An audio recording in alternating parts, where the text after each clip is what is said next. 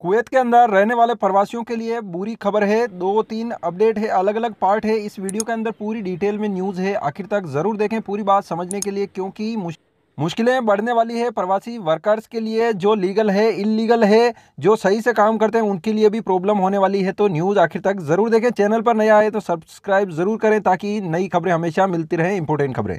इस वीडियो का सबसे पहला पार्ट है कि कुवैत के अंदर अब जो है दो महीने तक लोगों को पकड़ने का काम जो होल्ड किया था, अब उसको वापस स्टार्ट किया गया है, वो भी हंड्रेड परसेंट, यानी कि जो पहले जो अभियान चलाए गए थे, उनसे भी तेज लोगों को पकड़ने के लिए जो जेलों में बंद थे, प्रवासी लोग वर्कर्स डिपोर्ट करना बाकी था, लगातार डिपोर्ट किया गया, अब जो जेलें हैं थोड़ी खाली हो गई, यानी कि पहले की जैसे नहीं भरी हुई है तो वापस अभियान स्टार्ट कर दिए हैं, जो भी सबसे पहले तो उन लोगों को पकड़ा जाएगा जो जो इलीगल रेसिडेंसी में कानून का उल्लंघन होता है, वीज़ा का, उनको पकड़ा जाएगा, ये जो लोग हैं पैसे दे के एकामा लगाते हैं, जहाँ का एकामा होता है, वहाँ पे काम नहीं करते हैं और दूसरी जगह काम करते हैं, उनको पकड़ने का काम स्टार्ट किया है।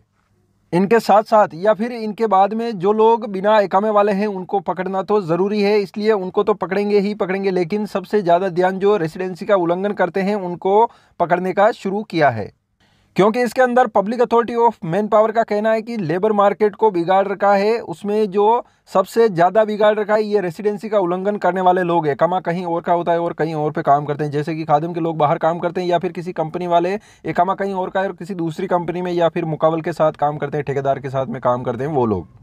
तो इन लोगों को पकड़ने के लिए दो महीने के बाद फिर से काम शुरू कर दिया है। सभी joint committee public authority of man power ने बहुत ही जल्द सभी को पकड़ा जाएगा। दूसरा जो बात है इसके अंदर, जो लीगल लोग अब कुवैत में रहते हैं वर्कर्स प्रवासी, उनके लिए। जो प्रवासी बेचलर लोग, यानी कि बिना फैमिली वाले, जो लोग कुवैत के अंदर रहते हैं वर्कर्स काम करते हैं, प्रवासी, उनके लिए जो लोग, एक तो किफ़ान में, एक अदलिया के अंदर रहते हैं या फिर दुकानें चलाते हैं। उनके लिए ये एक बयान आया है, जिसके अंदर बताया गया है कि यहाँ के किफ़ान और अदलिया के अंदर से जो कुवैती हैं, वो बार बार शिकायतें करते कंप्लेंट्स करते हैं। जिसको लेकर अब कहा गया है असेंबली के अंदर कि यहाँ से जो प्रवासी बेचलर हैं, उनको निकाला जाए, एक तो अदलिया और एक किफ़ान के अंदर से, क्योंकि कुवैतियों को मुश्किलें होती है, वो बार बार कंप्लेंट्स करते हैं। पता नहीं क्या मुश्किलें होती है, लेकिन होती है तो इस बारे में कंप्लेंट्स आ रही है, जिसके लिए कि जो बेचलर लोग हैं, प्रवासी यहाँ पर रहते हैं, इन दो एरियाओं में, और भी है एरिया, लेकिन नाम नहीं बताए गए हैं तो यहाँ से बहुत ही जल्द उनको को दूसरी जगह पे शिफ्ट किया जाए ऐसा बयान आया है।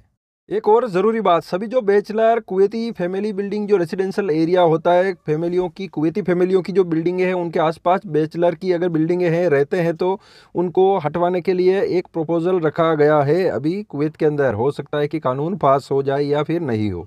जो लोग कुवैत में खादम के हैं, बाहर काम करते हैं, या फिर जो लोग कुवैत में कंपनी का एकामा है, दूसरी कंपनियों में, या फिर ठेकेदार के साथ साथ काम करते हैं तो उनको संभल के काम करना चाहिए अभी, क्योंकि 2022 में मुश्किलें हो सकती है।